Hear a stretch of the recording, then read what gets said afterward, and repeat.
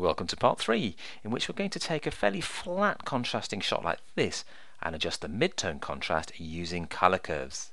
Now we have some very bright highlights in the background here, but the main subject is actually fairly flat. There's not really a huge range of dark shadows and bright highlights on the actual berries, so we're going to tweak the contrast and we're going to use colour curves to do that because they're very powerful ways of targeting specific tonal ranges like your midtones or your highlights or your shadows.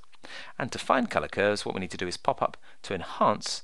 We're going to use this image here. It's called part 3 before. And if we go to enhance, adjust color, we can find adjust color curves by clicking like so. And that opens up the adjust color curves command. Now curves can be a little bit daunting at first, but they're actually fairly easy to use, especially in Photoshop Elements. Here you have a handy before and after, so you can see how your editing is shaping up. And down here you have the actual curve itself, though at this stage it's a straight line, so nothing is actually being changed, no tones are being altered. At the bottom left here we have the shadows, then as we move up through these control points we go to the midtones, and then up towards the highlights at the top right of the curve. So if I push this point up, we'd brighten the highlights, if I pull this point down, we'd darken some of the midtones and shadows. So you'll see these curve points moving as we either adjust the sliders or play around with these styles. Now styles are a great place to start with curves and that's because they're sensibly named and you don't actually need to understand what the curve is doing to enjoy the benefit of the style. For example, let's say we want to darken the highlights. You click here and that adjusts the curve by pulling the highlight slider down a little bit and it darkens the actual highlights in the shot.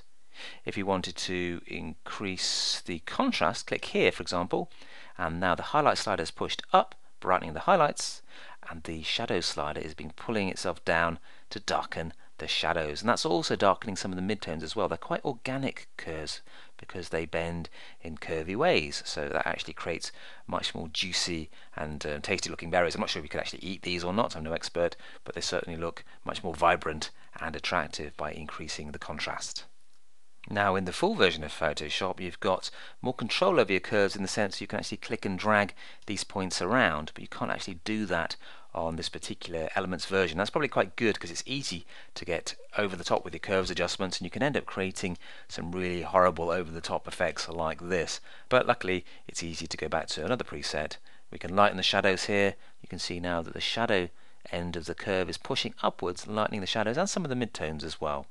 So there's lots of choice there and we can probably get most of the results we want by going to something like increased contrast which gives you that typical S-shaped curve that's lightening the highlights and darkening the shadows. So once you've got a curve you like you can then start to change the style by using the adjust sliders here to tweak highlights brightness for the midtones and the contrast of the midtones and also adjusting the shadows. So if we do want to tweak the midtone contrast we can just drag this slider to the left and that gives us uh, a slightly flatter contrast, or if we drag it to the right, we can create a, a, darker contrast depending on the look that we want to get. So something like there is giving us a nice definition between our shadows, midtones and highlights, and you could brighten up the midtones as well by dragging them to the right slightly like so. And as I drag you can see this midtone slider in the middle is just popping up slightly and lifting up the midtones of the shot. So as we can see from the before and after, the tones are better. Now we've got a wider range of shadows midtones and highlights,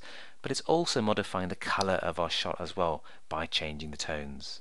So when you're happy, you can click OK. If you're not happy, you click Reset, and you can experiment with some of the other styles until you get the result that you fancy.